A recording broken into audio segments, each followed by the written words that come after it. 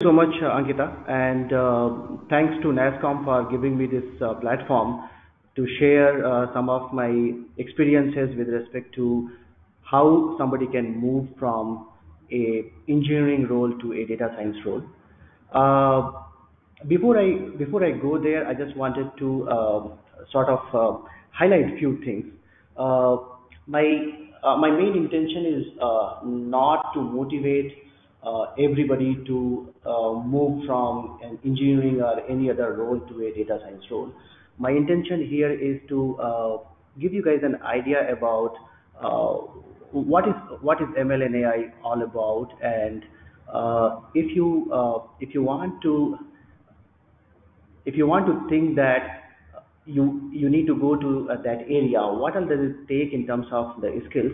But before doing that, I also wanted to uh, give you guys an idea that how you can contribute to the field of data science and machine learning by being in your uh, by being in your uh, given role for that matter, right? So so so before I get started, uh, uh, what I wanted to show is a little bit of uh, a little bit of uh, introduction of me. So my name is Vineet, and I am part of United Health Group. The technology division is called Optum. Uh, I am driving some of the data science and uh, machine learning uh, initiatives as part of Optum, and uh, I myself have uh, sort of migrated from being a engineer to a machine learning engineer to a to a data scientist. Uh, so most of the things that I'm going to talk about is coming up from my own experiences. It will be a mix of some of the facts that you guys already might be knowing, but it will also be having some of the thoughts and some of the uh, ideas uh, with respect to some of the experiences that I have faced and some of the interaction that I am, I am having since all these years. I have around uh, uh, 17 to 18 years of overall industry experience, and I am into the field of uh, data science and machine learning from uh, last 9 to 10 years. Along with me, I also have Kishore, who is helping me in terms of getting a sense of how this overall discussion is going. He will also be a, making a mental map of all the questions uh, that you guys may be asking over the chat, and then uh, he will be picking up some of those questions and he would be asking it to me, and then I would be answering uh, to the best of my abilities. Okay, so so so that's how uh, we are going to start. Uh, before I start, I just wanted to uh, uh, mention that these are some of the questions that I have uh,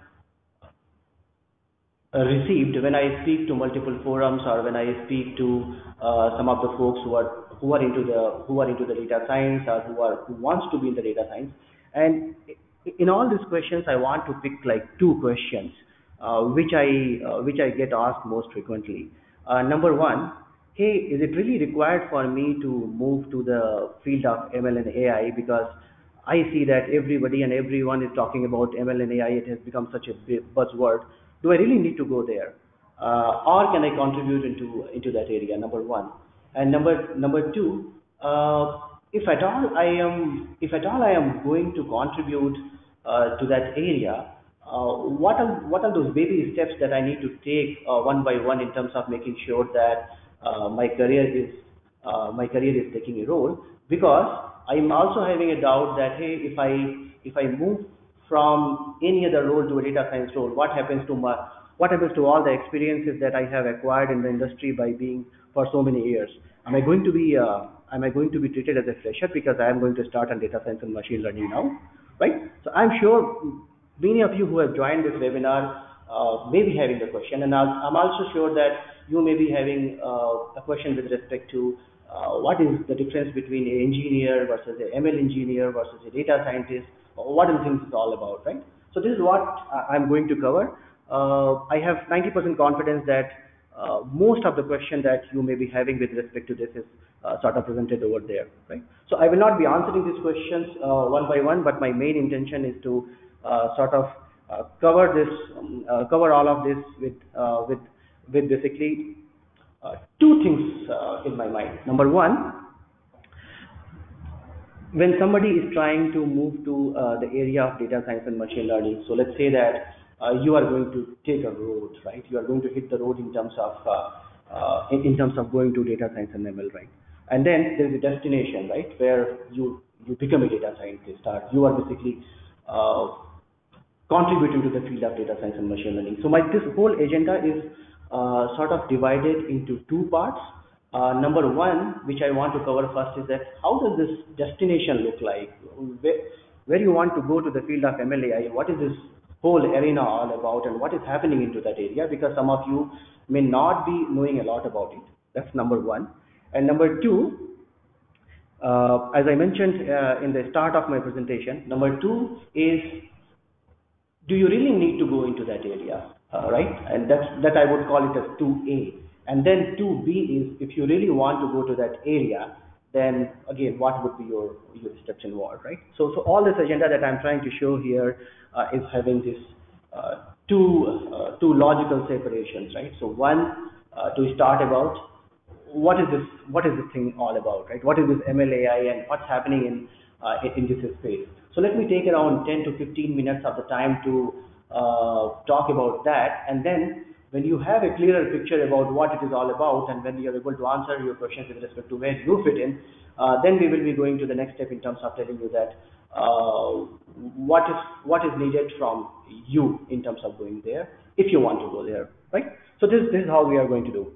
So let, let me start with uh, the very the very first one uh, where I want uh, I want to give you guys an idea about uh, what is happening in the case of MLAI. Right now, what I have done is I have uh, shown only four industries, but I'm pretty sure that uh, all the other in all the other industries as well are embracing to ML and AI very heavily. And as I have as you have seen in some of those um, some of those notes where I have mentioned that it is not a buzzword anymore, it is actually penetrated. And here are some examples. Uh, let me start with the healthcare because that's, that's the space where I am in. And uh, what I want to highlight in the case of healthcare is uh, starting from uh, diagnostics, understanding that uh, what a person is going through, what a patient is going through, uh, to them coming to the hospital, managing everything, making sure that they are given a proper proper medication, they are given the exact precise medicines with respect to that, uh, to the area of what happens uh, once the medication or once the treatment is done, uh, how they are responding to it, and is it reoccurring? If it is reoccurring, then what is the chances? What is the chance that somebody would be developing a given condition? What is the chance that somebody would be having a disease after so many years? So this, this all of the things are happening, and everywhere MNLAI is involved. That's that's the healthcare one. Uh, banking and financial services, uh, the two things that I want to call out. Uh, number one, where where where all these financial institutions are very much focused about uh, making sure that their NPA go, goes down, non-performing assets, so that uh, uh, they give the loan or money to only those folks who are who are non-risky ones, and that's where a lot of modeling etc. is happening. But the second one is uh, where all these financial companies are trying to uh, give a uh, give a personalized solution uh, with respect to their financial investments and offerings uh, to these guys uh, to ensure that their their their return is maximized with respect to whatever risk taking abilities they have right so that is what happening in the banking and financial area in the retail area i i'm sure that if i if, if i take the name of let's say Walmart, or if I take the name of Flipkart and Amazon, you will pretty much know that what is happening, right? So starting from uh, creating the market, uh, reaching out to the customer, recommending them, and making sure that their customers are sticky customers. Uh, for to do all this, uh, in the case of retail industry, ML and AI being used, right? In the case of education, uh, it has started very recently, and I'm sure that if you're in India, you may have heard about some of the companies like Byju's and all, who are who are venturing into this area and they are ad ad adopting to the ML and AI very well, right? So, so, so I, I have just talked about four industries, but doesn't mean that only these four industries are embracing to it. Uh, think of think of the whole whole number of industries who are uh, adopt, ad adopting to ML and AI. And here is what I see. Uh, take any industry for that matter. And here is what I see that how ML and AI is playing a role uh, in terms of uh, in terms of uh, two things. Number one, the value creation. So value creation is the one where uh, the companies are thinking about new products, uh, new features. It could be an internal product or it could be a, a new go-to-market product. Uh, it could be about chatbots, virtual agent. It could be about uh, the way they are interacting with the customers. It could be about some of the researches they are doing it and so on and so forth. So think of any new things or any new features or uh, any new market creation thing where ML and AI is uh, playing a role. So that goes to the value creation part of it. The second one is the cost differentiation. And the cost differentiation is the one where uh, some of the organizations are already having a big assembly line in place and uh, they are sort of trying to reduce their operational cost. Uh, they are trying to you know change some of their business existing business rule to the machine learning models or they are having uh, so much amount of data and then uh, on on top of that data they want to make sure that their data is clean so even what i'm trying to say is the machine learning and ai has penetrated to even that level where organizations are using ml and ai to ensure that where their data is good or not because you may have heard that if garbage is in then garbage is out right? Uh, so they are using ml and ai itself and then what are other things they can uh, sort of understand from the data that they are having and that goes into the data enrichment when i'm talking about this value creation and uh, cost differentiation uh, as two different things, there exists something in between, uh, and which is called decision support or augmentation, right? And uh, that is about that is about not creating a product or um, it's not about creating something which is going to reduce your uh, cost or operational cost, but it is just about having a you know a support with you, uh, which just tells that hey, whatever decision which you are going to take, uh, is it a good decision or not, right? And that is what I'm uh, calling it as a decision support or augmentation, right? So, so I talked about two things. Number one, how ML and AI is sort of uh, spread across different industries, and then I sort of stringed it together and to tell that in all these industries, how are the how are different two and three spaces where where industries are playing around with, right? Uh, I I, I, do not want to go into the details of this because I am pretty sure that this is some theory that uh, many of you, if you Google it, you will find it. And uh, uh, this picture is not mine. I have just got it from some of the some of the uh, internet itself.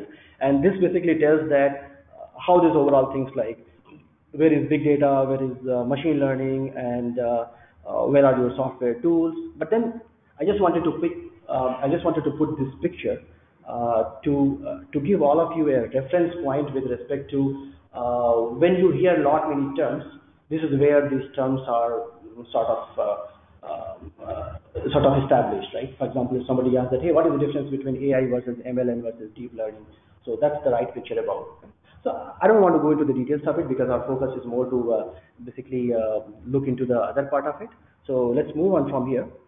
Uh, one more very small uh, thing I just wanted to mention. Again, I am not going into the details of it uh, because this presentation is not about that, but I know that uh, many of us are into the area of software engineering IT engineering, etc., etc., and they are having this classical programming, and they want to know that what is the basic difference between a classical programming and a machine learning. What, what exactly happens, right? So now I'm taking this present discussion to a little bit into that area to just give you guys that uh, an idea about do they really complement or do they compete with each other, right? That kind of thing. So what happens is in the case of uh, uh, classical programming, uh, you have rules, uh, which is nothing but your, if you if you take example of the functions that you may have written, and then the, you have the data. Data is nothing but uh, let's say that those function parameters, and then you do the programming, and then at the end of the day, a function either returns you something or it does some, some job for you, right? That is what is your classical programming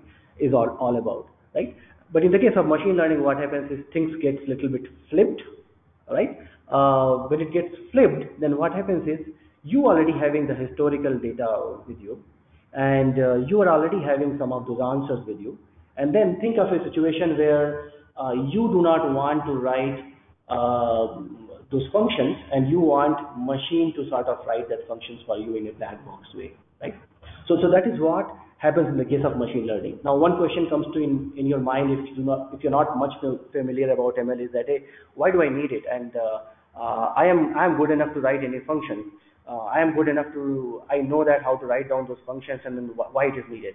So answer to that is uh, what is happening these days. Let me take an example of, for example, chess, right? and uh, you know that chess has 16 pieces but it has like uh, many many number of millions of uh, permutations and combinations with respect to uh, the setting of the board. And with that, it basically tells you that what is your best possible move, uh, which can, uh, you know, uh, make sure that you are going to increase the probability of you winning it, right? Now think of, now think of like you writing a, you writing a function. So for each and every uh, given piece, you may have to uh, end up writing those functions, and then uh, it will, it would, it would end up in writing down like millions of lines of code with respect to what is the best possible response for a given permutation or combination of the pieces, right? Now, if somebody comes and asks that, hey, can I do the same thing by writing zero lines of code, right? By not writing any code, uh, code at all, right? So in that cases, what happens is the machine learning kick in, and what you do is you will feed uh, all the information uh, to the machine in the course of time uh, for many many years, and then machine knows the end outcome whether uh, for example, given this particular uh, permutation, somebody finally won or lost, if you feed in all this information, then eventually machine tells you that uh, what is the best possible uh, move for you for this case. I just wanted to give a feeling about it. But then I'm not saying that uh, machine learning or AI is going to take all the things away from what I from from what an from what an IT engineer or a uh, software engineer is doing, right? So I will I will give you a little bit more about it in the subsequent slide, but I just wanted to give a understanding of what is the very basic difference between the classical uh, programming and machine learning. Uh, when I'm when I'm talking about this slide, uh, you may be thinking that hey, this is this is actually supervised machine learning. This is not unsupervised machine learning. Yes, that is right.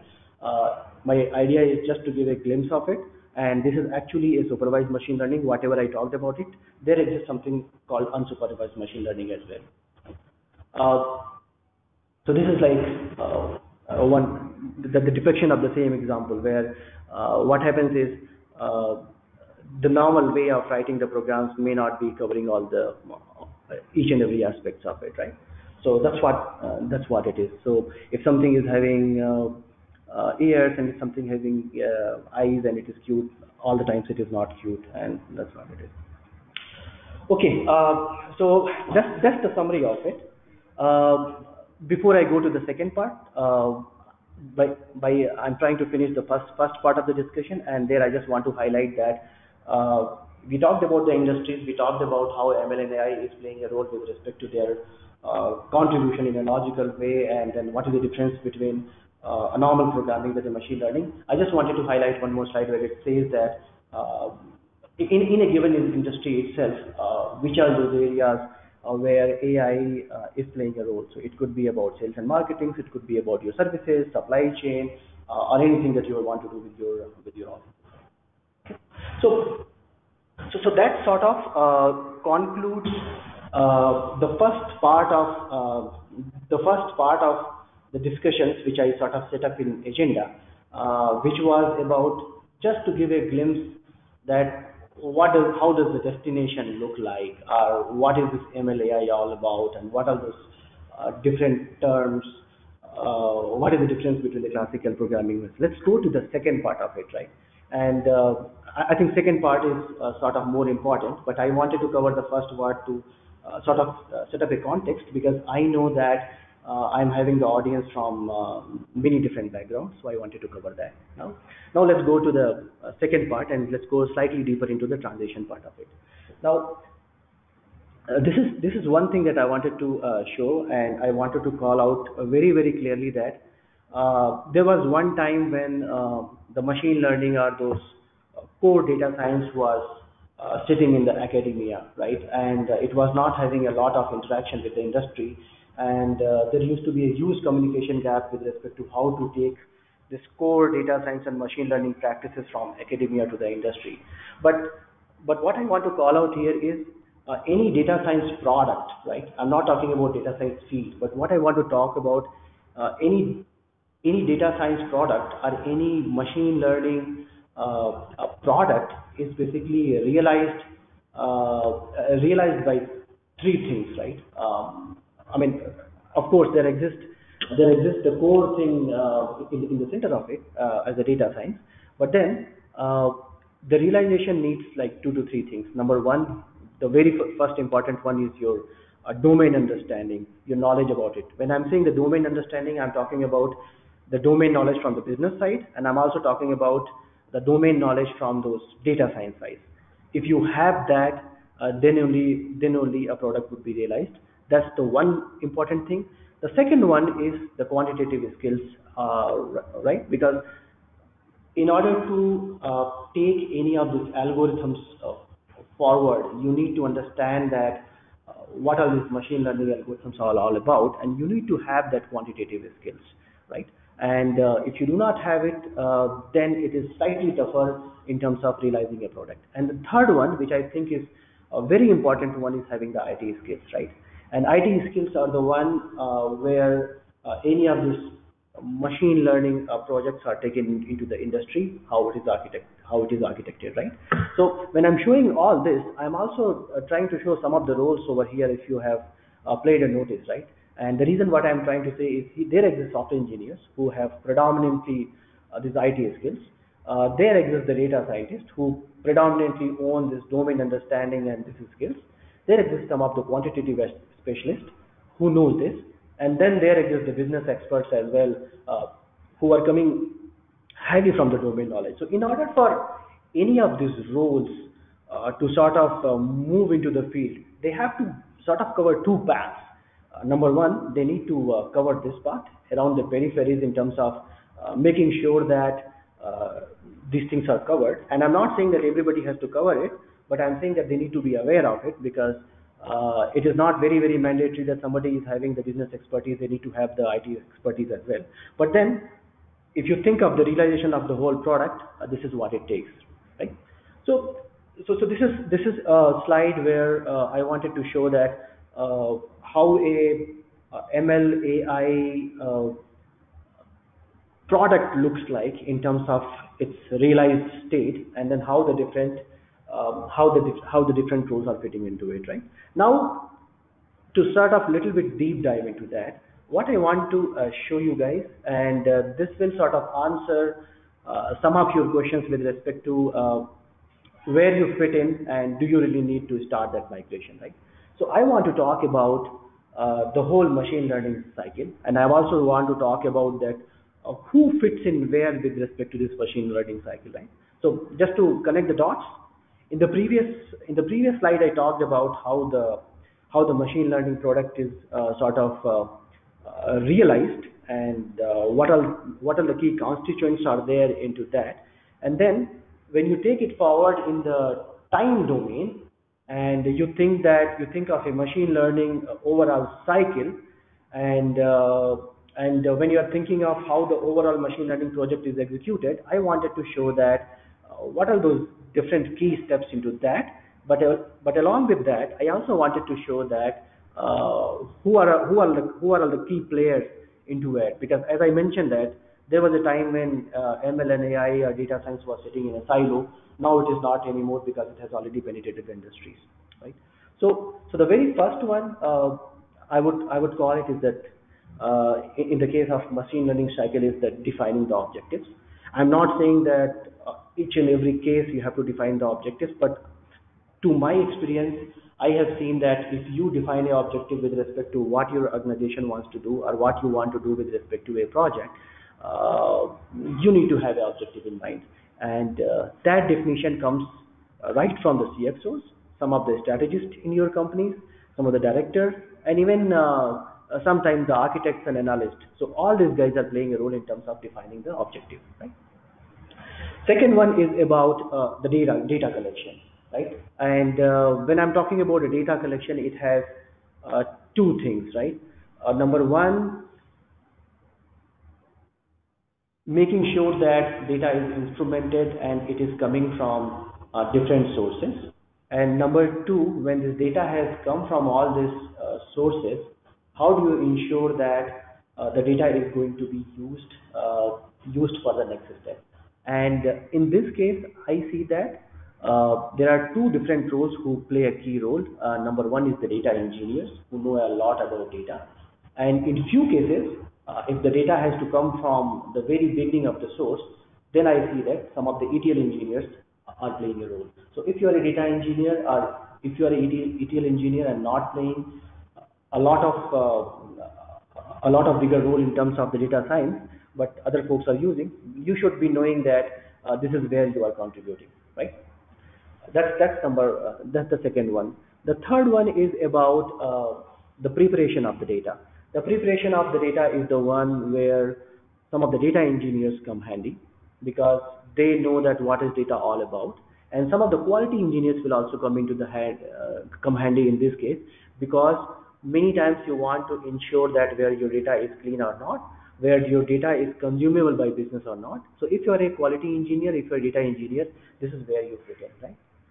Uh, the next one is uh, develop the data. Uh, i think uh, if you have heard about something called EDA, which is called exploratory data analysis, uh, that uh, that also falls into into this picture. And this is the area where the, some of the statisticians and some of the data scientists they start playing the role. When I'm saying that, what happens is once this data is prepared for you, you need to understand that what this data all, all about, how this how this data is uh, how this data is, what is the standard deviation, uh, what are those anomalies in the data, is data clean or not, what are those different insights that you can get from this data, uh, whatever has been prepared so far. And that's where the statistician and data scientist, they all come together.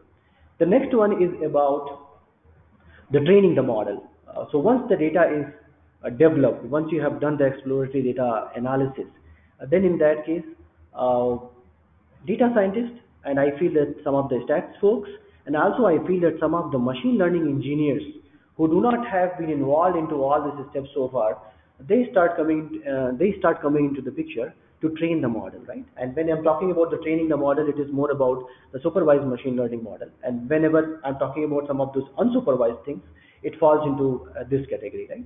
So in this case, the supervised and unsupervised, both of them uh, are coming into the picture uh, to train a model to ensure that uh, they are able to come up with a again, when I'm talking about the model, I am basically referring to going back to these rules. So these rules are nothing but the model. So I will be using those two terms interchangeably.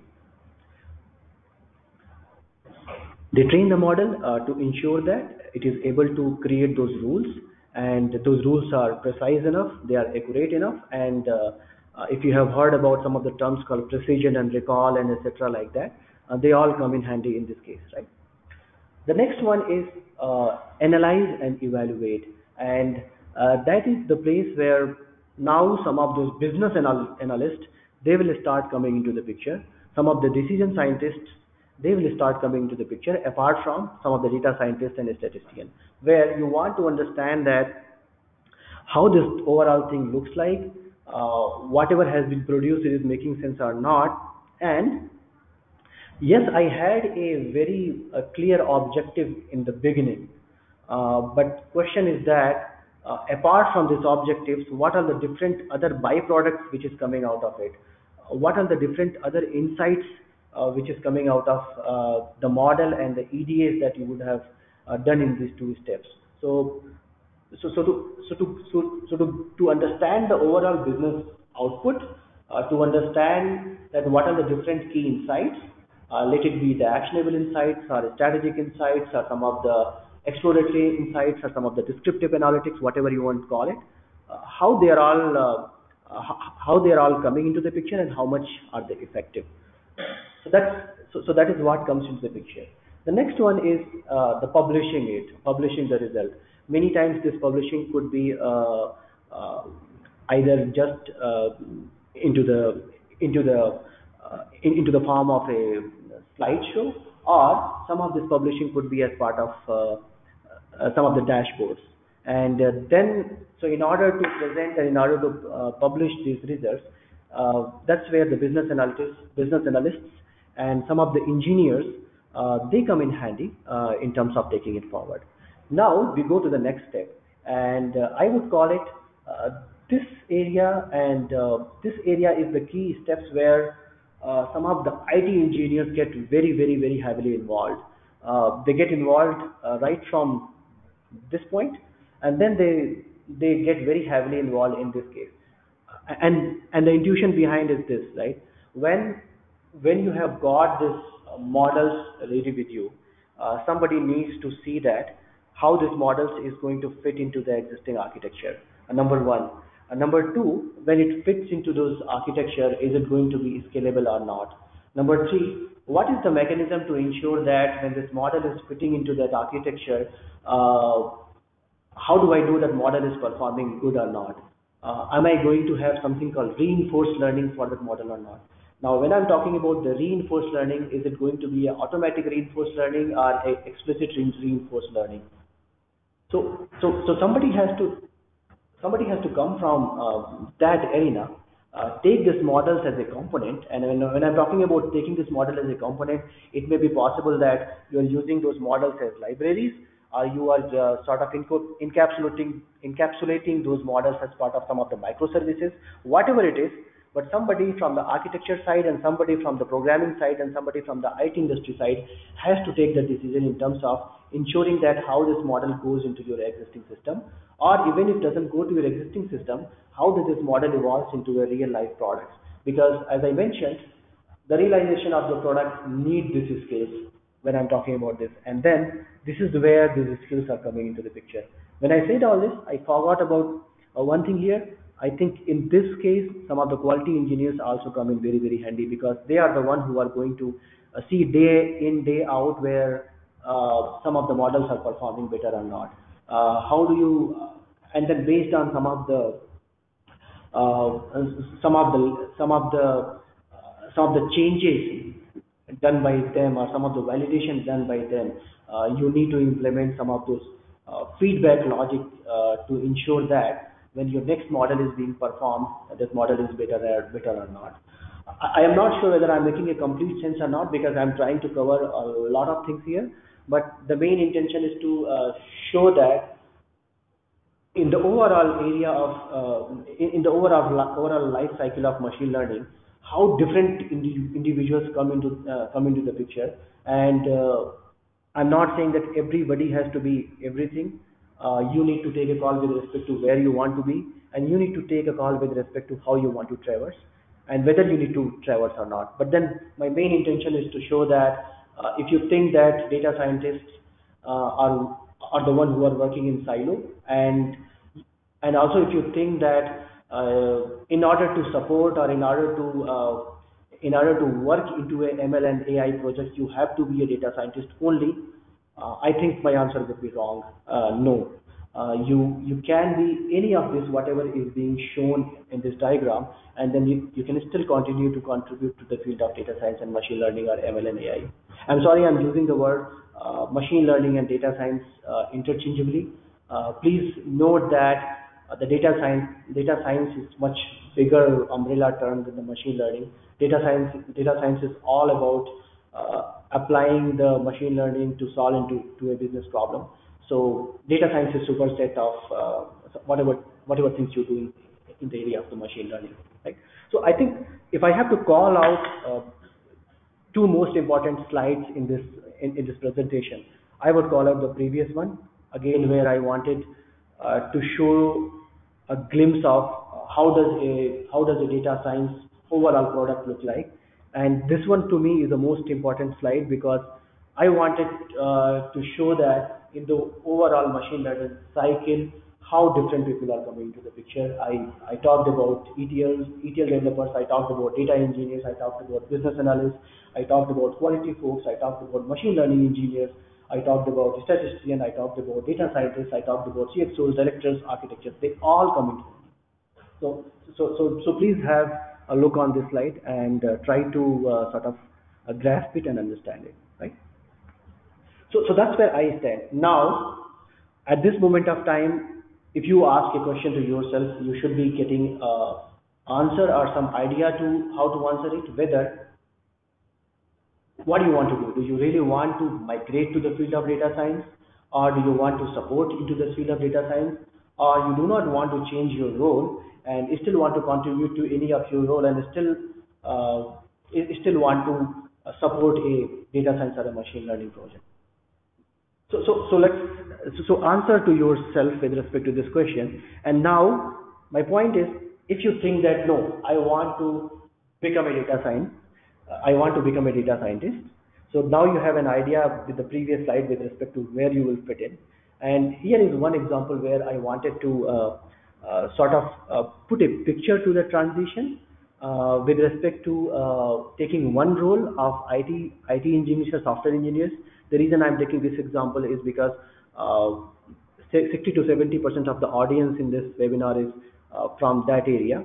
But if you are in the quality area, if you are in the business analyst role, etc., uh, you can sort of uh, try to understand this model as well and uh, and see that what is happening. So if you want to migrate uh, from the IT software engineer, so first of all, I think the main constituents is to get some of the business domain knowledge.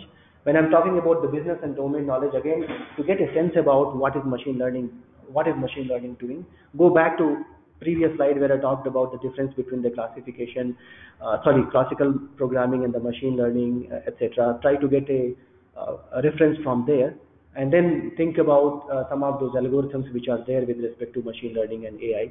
So with that, you need to have the domain knowledge. And the very first thing before becoming a data scientist, I would encourage that you be a machine learning engineer.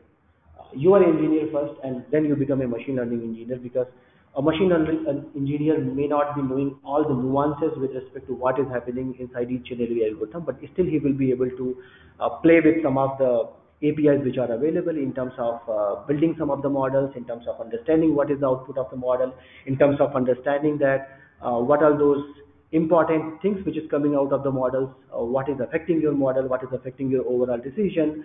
Uh, in other words, what is the coefficient with respect to all those features which is affecting your model. Uh, things like that. You do not need you do not need to go into the details of it, but you will get an idea about it. Once you have an idea about it, uh, then you need to embrace two things. Number one, stats, because I think that if you do not have the statistical knowledge, if you do not understand the understand the data well, I don't think you will be able to become a data scientist, uh, even though you know what is what is happening inside these algorithms, because some of this statistical uh, knowledge gives you an idea about uh, about what you are doing, what is the data all about, and give you an idea with respect to what you need to take inside your model and things like that. And then second one is going into the core of data science, uh, MLAI foundation and understanding it well.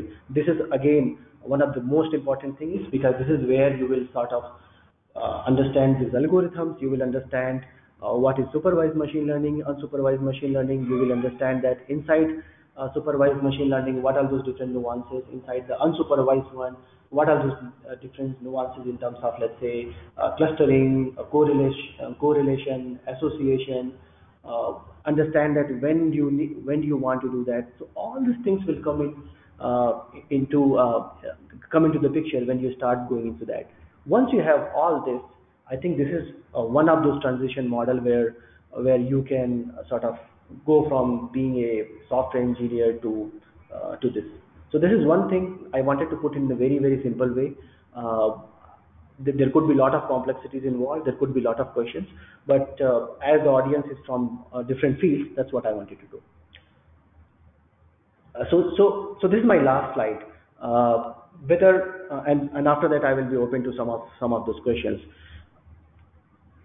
I wanted to highlight that what what exactly uh, it, it is going to take. Um, again, you have you can take a reference from the previous slide and then sort of think about uh, going to the deeper uh, into the deeper of it. And this is what I would uh,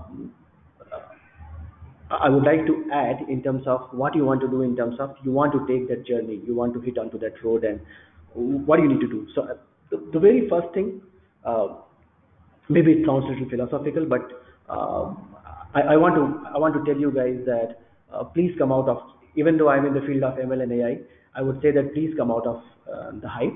Uh, end of the day, you have to solve a business problem, and uh, to me, what I see is uh, all these algorithms, uh, all the statistical techniques. They're all the, they're all the, they're all like they're all tools, and these tools have to be applied into a business context. These tools have to be applied into a subject, right? Think of think of the difference between maths and physics, right? So, so that's what I'm trying to say.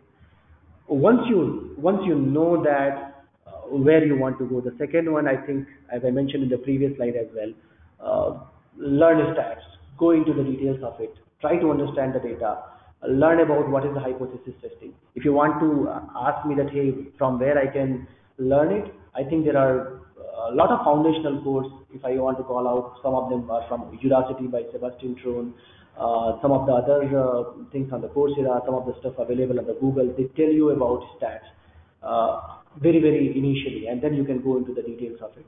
Stats itself is a altogether a very, very deep subject. I am not, I, sometimes uh, you will be able to get a sense of it in a couple of months. Sometimes it will take years and years, and sometimes uh, it needs lot of research uh, to go into to go deep into that subject. So I, am not going to put that how much time it will take in terms of learning, but I will I want to highlight highlight that you need to know that. If you don't know the stats, maybe you will not be a great data scientist if you want to be. The third one is understand the fundamentals of the data science and ML and AI. Understand what it is all about. What is supervised machine learning? What is unsupervised machine learning? Uh, what is semi-supervised? What is what is parameter tuning? Uh, how do you how do you use them? Uh, what is what is also deep learning? Uh, where is uh, where do you need to uh, where do you need to bring into the picture some of the reinforced reinforced learning and things like that? Again, I think this itself, it, it needs a two-hour session from me in terms of uh, giving you guys uh, the fundamentals about it. So I'm not going to the details of it. I'm just trying to cover uh, it very, very briefly in terms of what does it take. And I'm sure uh, if you go online or if you search about it or if you want to contact me further in terms of going into the details, feel free to reach out to me. But then uh, this is very, very important. Fourth one is I would say that if you are a beginner, uh, please get your hands dirty. Uh, play it by yourself. Please do not only read the books, uh, read the theory and say that I've become a data scientist. Until unless you do it by your own, you won't be able to do it. Uh, as far as those, those languages are concerned, our uh, implementation of some of those things are concerned, they are into the area of R, Python, Scala. SAS and SPSS are two of them which is uh, not free, so it may charge your organization some money, but these are some of the ones uh, which I think uh, you need to learn. Coming from my experience, uh, R was leading the game a couple of years before, but I think that from the last year, Python has come into the picture very, very well. And I see that there's a little bit of tectonic shift in terms of the data scientists or ML engineers moving from the R side to, to the to the Python side. Right. Uh, the fourth, the fifth one again, it comes from my experience, and uh, it again sounds like a philosophical state, statement like the first one, but I want to I want to highlight here, and I want to say that uh, align your thoughts. And if you want to do anything in the case of data science and machine learning, uh, please please remove your mental bias. Uh, you can have a hypothesis and you can validate or invalidate that, that hypothesis, but you must remove your mental bias. Because my point is that if you if you torture the data enough, uh, it will tell you what you want it to tell and, and don't do that. I have I have seen many many data science projects are failing because of this mental bias. Because they think that I am right and then they do whatever it needs to uh, sort of prove it by using some of the statistical thing and some of the so so please remove your mental bias. If you want to uh, have a career in that that be open. Be open to be open data to criticize your bias. And that's how I think you will be able to uh, make a better career if you're trying to move into that field.